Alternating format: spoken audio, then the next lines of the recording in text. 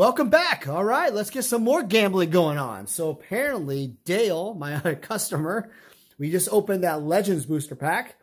Link will below of that opening. Check it out. And he wants to double up. Essentially, he wants to roll the dice, double down, split aces, whatever. He doesn't care. He's going to hit 17. He's going to try to hit Mishra's Workshop or bust. He bought one Antiquities booster pack. I pulled some for him. Enjoy the video, guys. Don't do this at home. Vintage Magic. Game, collect, invest. For more information about our consulting and professional services, visit vintagemagic.com.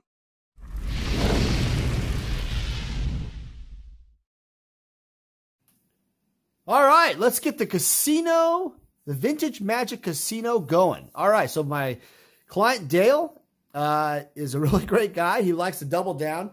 He uh, got a really nice pack for the Legends pack. Link will be below if you want to watch it. So let's see what we get in this one Antiquities booster pack. I just don't know which one to choose. If I was Superman, I would pick the right pack. So there's only eight. There's only eight cards in this uh, pack. Uh, and it's, uh, I, I, don't know, man. You pretty much have to get the Mishra's Workshop or bust. Packs are going for almost like $750 plus now. Graded ones are even more. I think I'm going to open, ah, oh, man, it's hard. It's really hard. I don't know. You, don't, you just don't know. And our pack, I'll just do this one. The, the packs are never searched. We don't deal with that kind of stuff. We get it from reputable sources. Wizards of the Coast employees that type of thing. All right, so let's see what we got. I also have bought out card shops or people who have had long collections who, uh, you know, people have passed away, estate sales and such. I don't, I think it's, okay, I'm to go this way because I don't remember the sequence of events. Oh, that way. Okay, so like that. Okay, so I think, okay, so I think watching Open Boosters, because he's the, the, the king of opening these packs, I think the card, the the uncommon. So I think there was commons and uncommon one and uncommon two. I don't know. Maybe there's even uncommon three. This was kind of part of that Arabian Nights thing. I don't remember, but we'll figure it out. So really nice card off the top in terms of quality of card. Artifact Ward. That's a common, I think. I think I have this card uh, as a painting. Next, we have Orcish Mechanics. Has anybody ever played this guy ever on a uh, old school Magic? But really clean, really centered though. Really nice. I like that. Okay. Battering Ram. Ooh, I like this one. Wow, also centered. This is a really nice pack. They all have this corner, though, on the bottom like that, which is pretty typical for all these cards. But Gotta say, centering-wise, Dale, looking pretty nice if you were to grade these, in my opinion. Next one. Urza's Mine. There we go. All right. That's nice. That's nice. Look at that.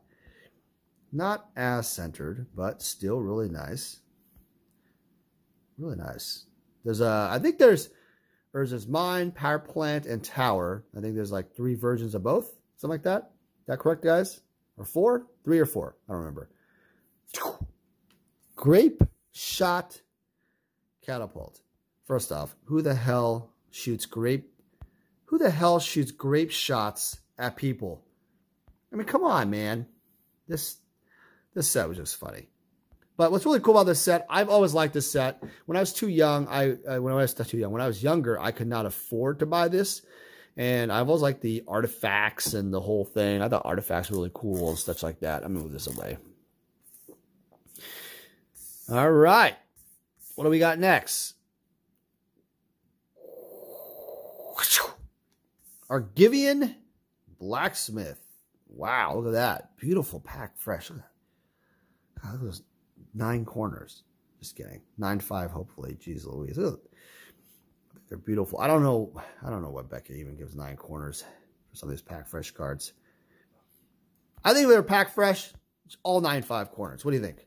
I don't know. All right, so we are at five cards. Okay, we might have the first uncommon one. Tawnos Wand. Okay. Don't remember that one. I think I have this painting. Yes. Hey, look, it's centered beautifully. God, really nice centering. I got to say, really clean. Really happy with the quality of the cards. Sometimes they, I don't know, they're not as centered or they're not as, I don't know, the corner might be as deaned. And the last card is a Xenic Poltergeist. I don't even know if, yeah, wow, this colors on this is beautiful. Wow, this is a beautiful, beautiful card. This guy.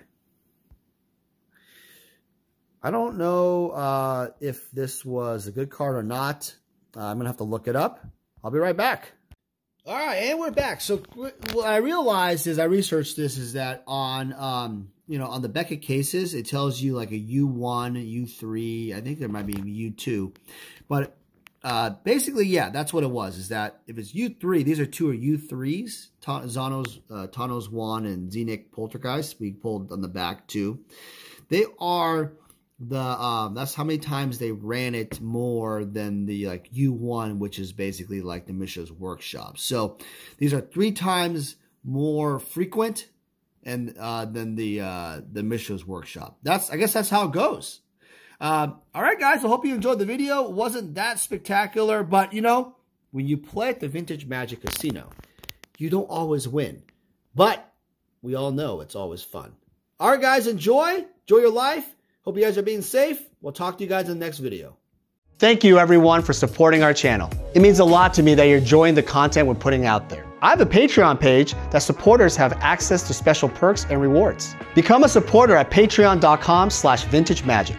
As a patron, you receive exciting pricing on sealed product, flash sales, annual gifts, and personalized consulting services from me. Again, thank you for subscribing to our videos and supporting the channel. I love meeting players, collectors, and investors all over the world. If you see me at a Grand Prix, please come by and say hi. I would love to meet you. Thank you everyone for your support and friendship. Thank you everyone for watching the videos. I wanted to do a special thank you to Sam Tang from Kitchen Table Magic. Uh, he's been a great friend and a great artist uh, producing the videos. Been very patient with me in his directing.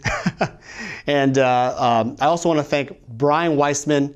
Uh, Brian and I have become uh, friends out of this, and um, I've learned a lot from him. Um, and he's spent countless hours uh, sharing his knowledge and wisdom. Without you guys and the support of my Patreon, it, you know, this would never be possible.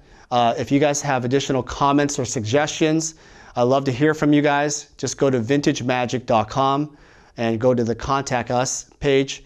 I would love to hear from you. So thank you so much for watching. We'll talk to you soon.